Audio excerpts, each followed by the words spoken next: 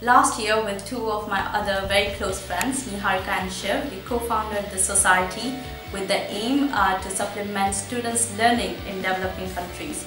Uh, we wanted to help social entrepreneurs who are um, interested and uh, who want to improve children education and bring low cost effective technology from the developed countries to rural India.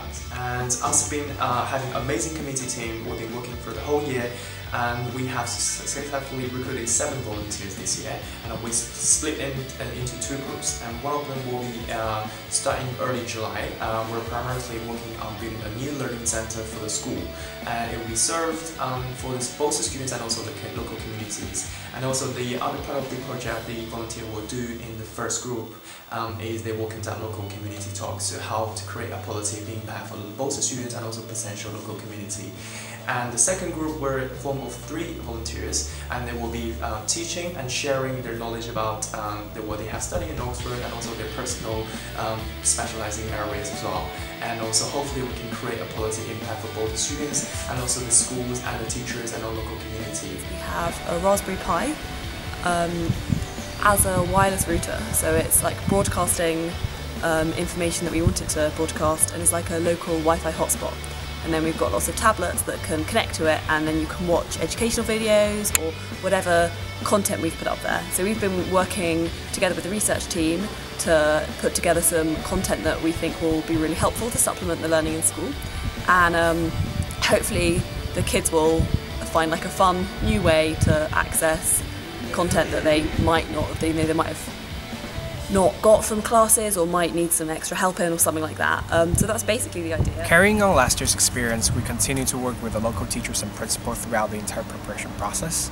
And obviously, as a research team, we conduct program evaluation to make sure that we are making a significant and positive impact on both the students' learning outcome and the community as a whole. One thing that we do look out for is to make sure that this is not another Western oriented and specifically coming from Oxford, an Anglo centric educational value system imposed on an Indian school and community. As an example, our volunteers don't teach. We do teach and lead extracurricular activities, but in terms of classroom teaching, we work closely with the local teachers to make sure it is done entirely by themselves. I guess my main motivation for joining and volunteering for Prayog was um, I'm passionate about social justice and change and improving education for kids in India. Um, I think Prayog is a really unique programme because it offers a really sustainable and long-term approach to this problem. Um, you get prepared quite extensively for going uh, to volunteer. So we have interval training and safeguarding training. Also Teach First, uh, do a session with us to help us reach out to people from lower um, socioeconomic backgrounds. Um, so yeah, you're really well prepared when you, uh, before you go to India, which is great. Last year's project was very successful. We got a very positive response from the teachers and uh, students of Halia village who use this technology.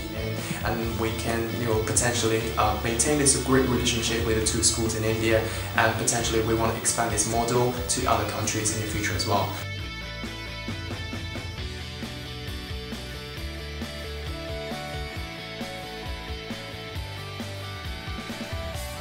One of the big pros that I think is just sort of getting tech literacy um, as like a using technology as a way of learning but also just in general because I think that considering how important it's becoming in the world it's really important to get younger people involved earlier with technology. And the hope is also that the technology we bring in to supplement traditional classroom teaching can help increase students' learning motivation, at least in math and science subjects that we are currently experimenting with. Especially knowing that we are approaching a rural village in India, I think it's quite ideal and sustainable that uh, our project will be done entirely offline. I'm really excited about it personally and I would suggest it to anyone from my experience so far.